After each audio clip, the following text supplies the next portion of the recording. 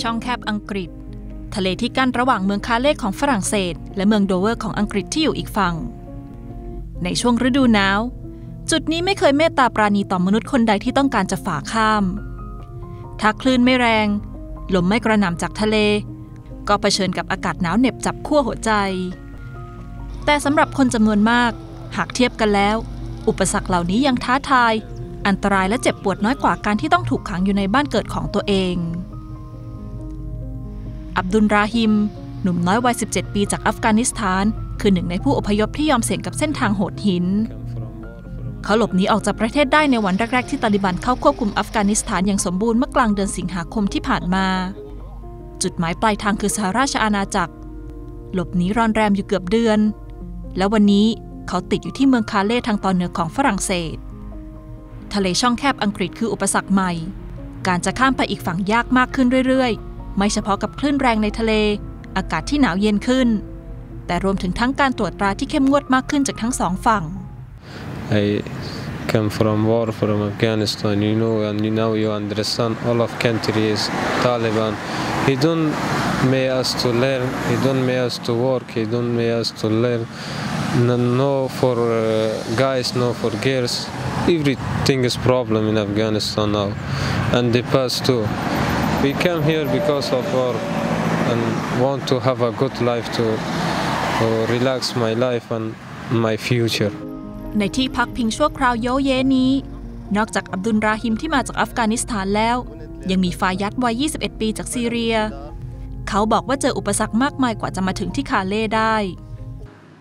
هلا من سوريا جيت انا بسيارات ل قبل لادلب ومن ادلب تقريبا نطينا من الجدار وركضنا مسافه منيحه ووصلنا لنقطة التحميل نطرنا شي يومين لأجت السيارة คาเล่เป็นหนึ่งในจุดหมายปลายทางของผู้อพยพตั้งแต่ปี 2015 ในคราวที่ผู้อพยพหลักหมื่นหลักแสนจากซีเรีย อิรัก อัฟกานิสถาน ลิเบียลี้ภัยจากสงครามไหลทะลักเข้ายุโรป คนที่ต้องการไปสหราชอาณาจักรมักใช้ที่นี่เป็นทางผ่าน เนื่องจากอยู่ไม่ไกลจากอุโมงค์รถไฟใต้ทะเลที่เชื่อมต่อฝรั่งเศสและอังกฤษหรือที่เรียกว่ายูโรทันเนลเพียง 50 กิโลเมตร และไม่ไกลจากท่าเรือที่แล่นผ่านน่านน้ำระหว่างสองประเทศ ที่ป่าละเมาะแห่งหนึ่ง ผู้อพยพจำนวนมหาศาลที่รอข้ามฝั่ง เริ่มสร้างค่ายที่อยู่อาศัยกันเอง มีทั้งกระท่อม เต็นท์ตู้คอนเทนเนอร์ค่ายแห่งนี้ดึงดูดผู้อพยพมามากขึ้นเรื่อยๆ จนกลายเป็นชุมชนขนาดใหญ่ที่เรียกว่า The Jungle ว่ากันว่าไม่มีที่ไหนสะท้อนความล้มเหลวของการรับมือกับผู้อพยพที่ไหลทะลักเข้ามาในสหภาพยุโรปได้ดีเท่ากับที่นี่ แออัด ขาดสุขอนามัย เต็มไปด้วยความเครียดและการประทะกันระหว่างวัยรุ่น ไปจนถึงปัญหาลักขโมยและข่มขืน ลุกลามบานปลายจนรัฐบาลฝรั่งเศสต้องรื้อถอนค่ายนี้เมื่อปี 2016 วันนี้ไม่มีค่ายให้อยู่ แต่ผู้อพยพจำนวนหนึ่งยังคงไม่ไปไหน ปัจจุบันทางการฝรั่งเศสคาดกันว่ายังเหลือผู้อพยพราว 2,000 คน พวกเขานอนตามป่าละเมาะสุมทุมพุ่มไม้ หรือที่ไหนก็ได้ที่ห่างจากสายตาของตำรวจที่คอยจับกลุ่มจนเมื่อพระอาทิตย์ลับขอบฟ้า ความมืดเข้าปกคลุม ภารกิจสำคัญของผู้อพยพก็จะเริ่มขึ้น นั่นคือการข้ามช่องแคบอังกฤษ วิธีการข้ามมีหลากหลายช่องทาง และทุกทางอันตรายทั้งสิ้น ไม่ว่าจะเป็นวิธีติดไปกับรถบรรทุกขนส่งสินค้าที่ขึ้นเรือเฟอร์รี่ข้ามทะเล โดยต้องจ่ายเงินให้กับนายหน้าที่จะพาไปที่รถบรรทุกขนสินค้าที่ท่าเรือ หากไม่มีเงินพอค่านายหน้า ผู้อพยพก็จะใช้วิธีลักลอบขึ้นไปบนรถบรรทุกแทน ส่วนบางคนใช้วิธีแอบเกาะหลังคารถไฟยูโรสตาที่วิ่งลอดอุโมงค์และทางสุดท้ายคือการข้ามทะเลด้วยเรือยางเล็ก ๆ ผ่านนายหน้าในขบวนการค้ามนุษย์ หนทางนี้สั้นกว่าอุโมงค์เพราะช่องแคบอังกฤษมีความกว้างเพียง 30 กิโลเมตร แต่ต้องเสี่ยงชีวิตกับคลื่นลมแรงและอากาศที่หนาวจัด แต่ไม่ว่าจะด้วยวิธีไหน มีไม่กี่คนที่รอดปลอดภัยมาถึงทะเลอีกฝั่งจำนวนมากเสียชีวิตเพราะตกจากรถบรรทุก ตกจากรถไฟ หรือจมหายไปในทะเลที่เย็นเฉียบ ส่วนคนที่ยังข้ามไปไม่ได้ ก็ต้องใช้ชีวิตอย่างหลบๆซ่อนๆที่คาเล่ช่วง 2-3 ปีที่ผ่านมาทางฝรั่งเศสและอังกฤษมีกฎหมายที่เข้มงวดมากขึ้น เพื่อสกัดกั้นผู้อพยพ อีกหนึ่งมาตรการสกัดคือ การสร้างกำแพงสูงขึ้นมากั้นระหว่างชายแดนอังกฤษกับฝรั่งเศส มีการตรวจตรารถทุกคันอย่างเข้มงวด โอกาสที่จะหลุดรอดของผู้อพยพแทบจะเป็นศูนย์ การตรวจตราเข้มงวด บีบให้ผู้อพยพจำนวนไม่น้อยเลือกใช้วิธีข้ามทะเล เพราะไม่สามารถข้ามอุโมงค์ได้อีกต่อไป ช่วงปี 2019 สัดส่วนผู้อพยพที่เลือกใช้วิธีข้ามทะเลมีเพียงร้อยละ 11ข้ามมาปี 2020 กลับเพิ่มเป็นร้อยละ 50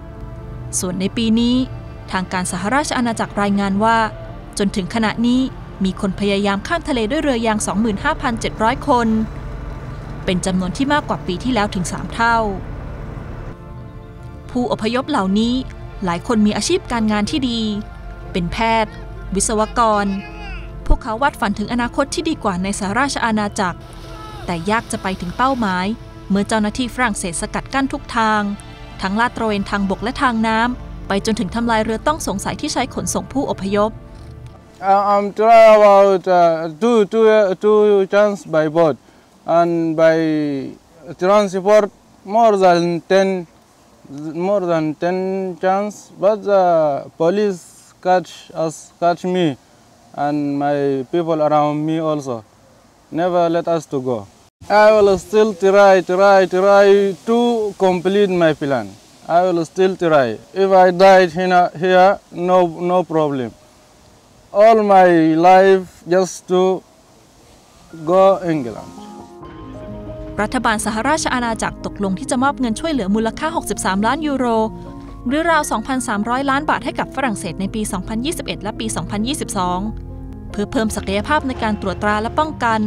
รวมถึงจัดหาเทคโนโลยีใหม่ ๆ มาตรการเข้มงวดมากขึ้น แต่สำหรับผู้อพยพ พวกเขายังคงมีความหวัง คาเล่ยังคงเต็มไปด้วยผู้คนจากตะวันออกกลางและแอฟริกา อาศัยอยู่อย่างกระจัดกระจายตามป่าตามเขา นอนหลับพักเอาแรงในตอนกลางวัน